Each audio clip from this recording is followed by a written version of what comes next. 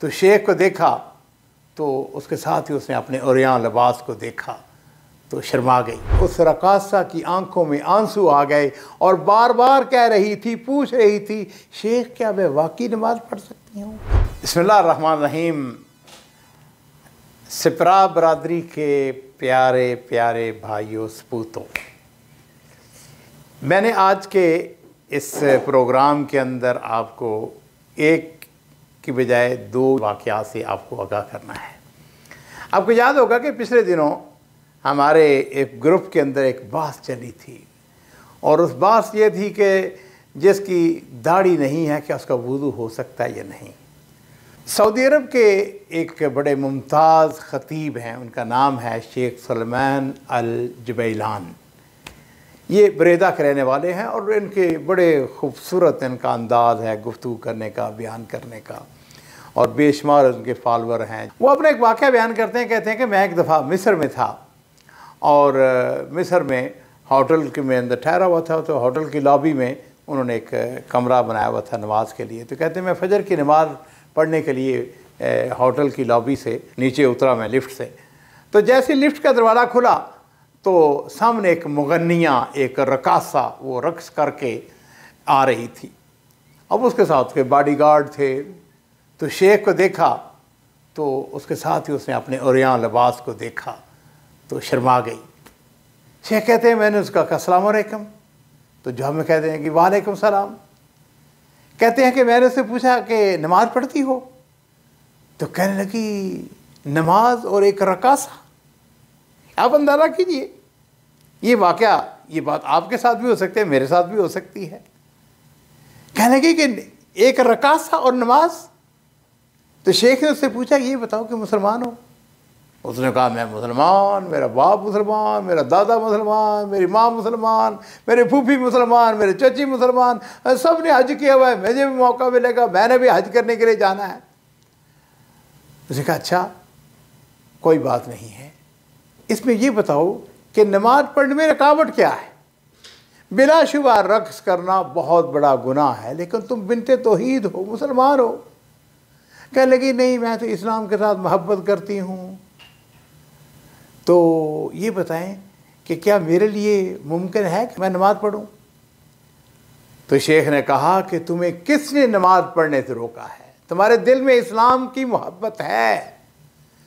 और कुरान पाक क्या कहते हैं? इन सलासा तनहा अनिलफाशाई वलमुनकर और अल्लाह ताला क्या फरमाते हैं कुरान पाक के अंदर? इन हसनात युज हिबन सयात कहते हैं, उस रकासा की आँखों में आँसू आ गए और बार बार कह रही थी, पूछ रही थी, शेख, क्या मैं वाकई नमाज़ पढ़ सकती हूँ? क्या मैं वाकई नमाज़ पढ़ सकती हूँ? नबी करीम सल्लल्लाहु अलैहि मेरे माँ बाप कुर्बान हों आप इस कायनात के लिए रहमत बना के भेजे गए। वमा अरसलना का रहमत आलमीन। आपने शास्त्रों माँ बुस्तुलानन इन्नमा अना रहमतन मुहद मैं लोगों को लानत भेजने के लिए नहीं भेजा गया हूँ। मैं तो रहमत ही रहमत। तो मेरे अजीज़ों, इस्लाम को महदूद ना हम करें, बल्कि इस्लाम के अंदर वसत है, माफ़ी है। तो इसलिए हमारे बाद साथी जो बाद छोटे छोटे मसाइल की वजह समझते हैं कि फ़लाँ कबीरा गुनाह का मरतकब हो गया। नहीं भाई इन अल्लाह ताला की रहमत बहुत वसी है। अजीज़ों, एक और वाक़ मैं आज के इस प्रोग्राम में ऐड करना चाहूँगा। सिला रहमी के फ़ायद अब सबने इमाम ताबेन सईद इबन मुसैब रहमल्ला उनका नाम तो आप जानते हैं ना, बहुत अजीम शख्सियत थी।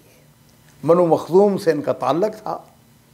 और आबद, जाहिद, इनको एक दफ़ा किसी ने बताया कि इब्राहिम बिन मोहम्मद बिन तलहा, ये फौत हो गए हैं। तो जैसे हमारे यहाँ आम सी बात है, उन्होंने कहने लगे कि कैसे फौत हुए हैं? कहने लगे कि वो अपने कसर में बैठे हुए थे कि उन पर छत गिर पड़ी और वो नीचे दब कर वफात पा गए कहने लगे, नहीं, मुस्तहील, ये नामुमकिन है। या बल्लामूत मिसर हुआ कदा कहने लगे, ये नामुमकिन है कि इन जैसी शख्सियत के ऊपर छत गिरी और ये मर जाए। नहीं। तो लोगों ने मलबे को हटाना शुरू किया। तो देखा कि वाकई इब्राहिम सही सालम निकल आए हैं। न कोई हड्डी टूटी, ना कोई खराश आई, ना कोई ज़ख्मी हुए, कुछ नहीं हुआ। तो लोगों ने सईद इबन मसैब रहमल्ला से पूछा, कह रहे कि आपको कैसे मालूम हुआ कि वो छत के नीचे आकर नहीं मर सकते? बड़ा खूबसूरत उन्होंने जवाब दिया। कहने लगे ले अन्नहु रहम वो सिला रहमी करने वाले थे। और सिला रहमी करने वालों को अल्लाह ताला बुरी मौत से बचाते हैं। वह वासिलरहम यू का मई तो सू ये किसका जवाब है? ये सईद इबन वसीब का जवाब है। कहने लगे कि जो सिला रहमी करते हैं, अल्लाह रब्ज़त उनको बुरी मौत से बचाते हैं। और फिर उन्होंने बड़ा खूबसूरत बात कही। कहने लगे सिलू अरहामकुम व इल्लम यसिलूकुम। अपने रिश्तेदारों के साथ सिला रहमी करो, अगरचे वो तुमसे सिला रहमी न करें।